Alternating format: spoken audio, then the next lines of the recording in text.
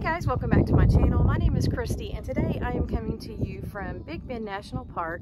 This place is amazing, so stick around. I'll take you on a few hikes with it. And I'm here with my good friends Jesse and Tyler from Travel Like No One Else. And they are going to be along with me for these hikes, so stick around. Just wanted to say a huge thank you to Katy's Casita Closets for sponsoring today's video. If you watch my channel, you know that I'm a big fan of the closet modification that I had added. Make sure to check out the description and visit their website for more information.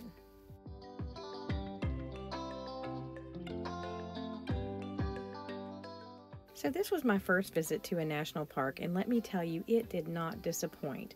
With over 800,000 acres in the park and 150 miles of trails, there really is something for everyone here. You just need to be prepared to drive a lot to get between locations, but I had a wonderful time. So I'm going to jump right into the hiking here. And the first thing that we did was the hot springs.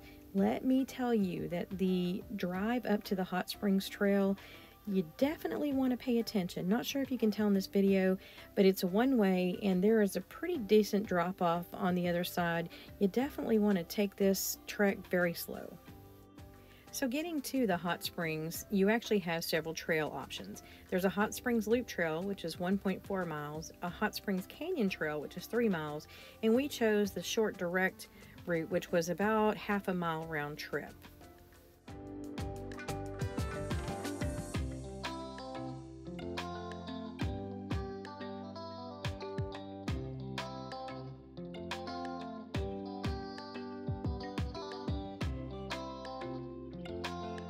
So I'm coming to you from the hot springs here at um, Big Bend. And this is the hot springs. My new friends, everybody say hello. Hello. So this place is really cool. It's like maybe a half mile walk down here to the springs. You've got to check it out. The water's really warm and then there's a nice swim hole right underneath. So the hot springs are definitely a community event, but it was really nice meeting everyone. A quick shout out to Jordan. Best of luck in your future van adventures. It was just a great little uh, hot tub to start our trip. It can get up to 105 degrees in the hot springs, but it was really nice.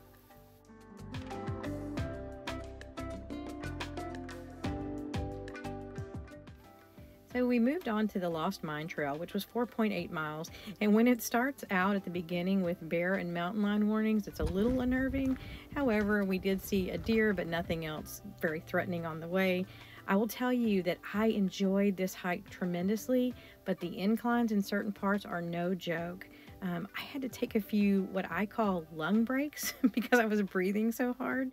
But uh, it was a workout, but let me tell you, the views from up top were amazing.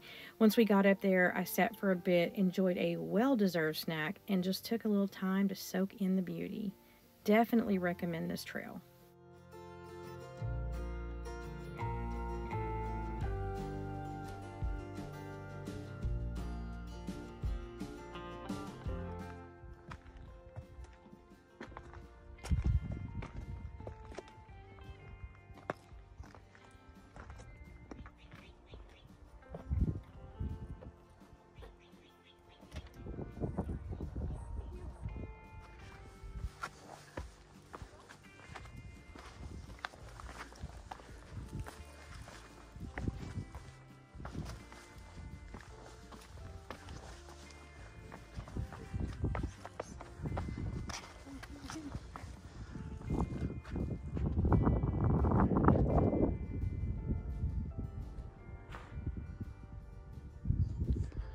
Have anything to say, Tiny Texan?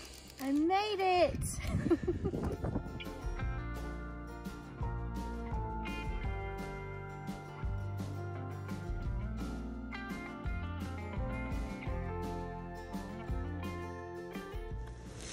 So this is what it's like when you get up for an early morning hike with the best neighbors in the world. Say good morning, Tyler. Good morning, people. Look at this. It's not even daylight outside. We're getting ready to go hike, and he's out here slaving over a stove. Next up is the Santa Elena Canyon Trail. You have an option of 1.6 mile trail, and there's also an overview, and you can just walk right down to the water. Let me tell you, the canyon walls rise about 1,500 feet from the Rio Grande, and the scenery is absolutely spectacular. Now, to get to the other side of the trail, you have to swim or wade, depending on the time of year, through the water and climb um, an embankment on the other side. So we opted not to do that and we just kind of hung around, climbed around a little bit, and just enjoyed the sandy beach area with the absolutely gorgeous views. I would have absolutely loved to be in a kayak on this water. If I had one with me, I would have jumped in it right there.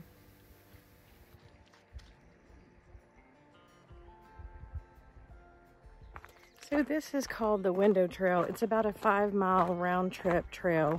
Um, I think the first two and a half miles are downhill, which means when you're very tired, you're having to come back uphill. But apparently this is one of the most popular trails down here.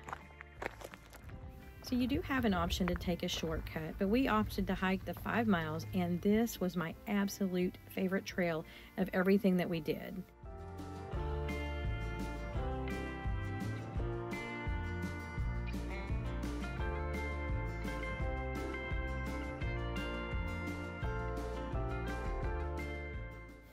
Once you get down into the canyons, the trail takes you through some beautiful, huge walls with, I swear, it was ever changing colors of the rock. It was beautiful reds and it was gorgeous. Um, it was very, very nice meeting the folks from Canada. Sorry I didn't get your names. I hope that you guys continue to have amazing adventures. Um, my opinion on this is if you have one trail that you pick to do while visiting, it would be this one.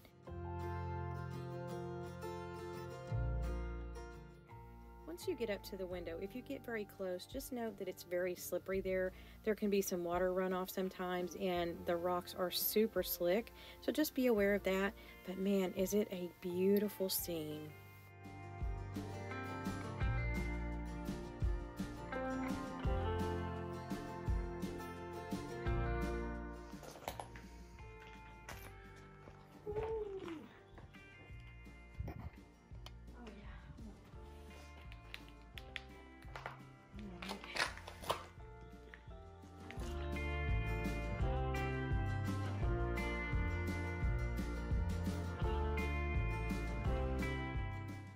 We start heading back up from the window and we find this toxic waste that we did not see on the way down. We went down a little ways and had to about face. Now we're going back to find out where we actually should have gone. And moving on to the Grapevine Hills Trail, where everyone goes to see the balanced rock. It's 2.2 miles on this trail, and it is through mostly unshaded desert.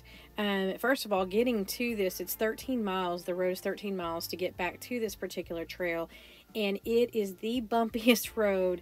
I think it took us 35 or 40 minutes just to get down the road. So it, it is definitely, you have to take your time going down the road to get to it. But then when you get there, it is, uh, this may be a little biased because we hiked and it was almost 90 degrees. So it was really warm. This would be my least favorite of all the trails.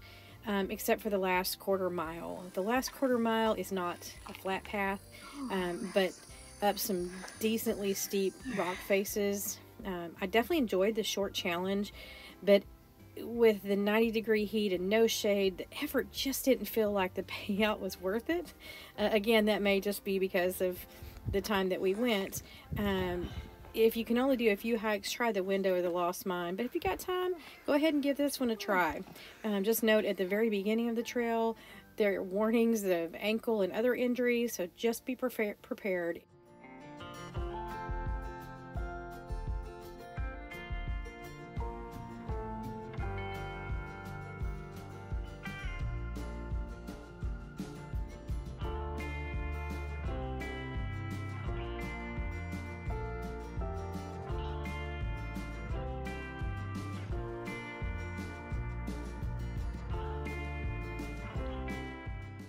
So as far as where we camped, we stayed at the Roadrunner Travelers RV Park there in Terlingua.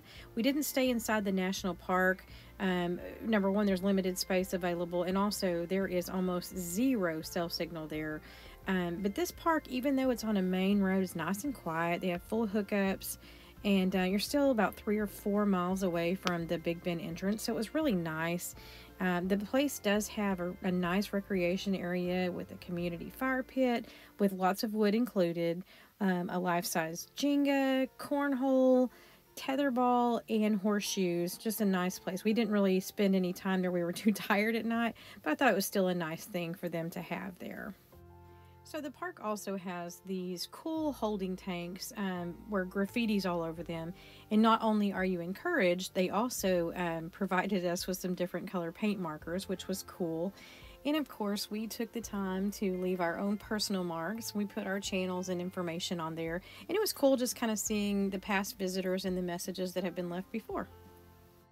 And we closed out the final night of our trip sitting around the campfire talking about how wonderful the trip had been. So I hope you liked the video, and if you ever get a chance to come down to Big Bend National Park, I highly recommend it. Remember to enjoy those little things, and we'll see you next time.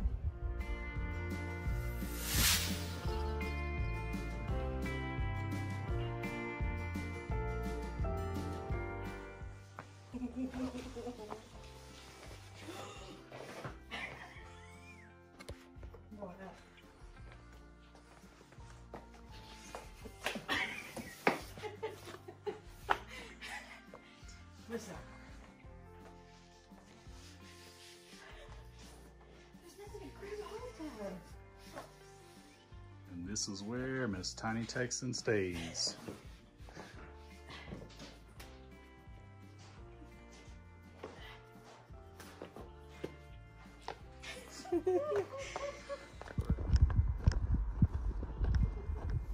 Taking over Christy's channel. Tiny Texan Adventure coming at you. Enjoy the little things.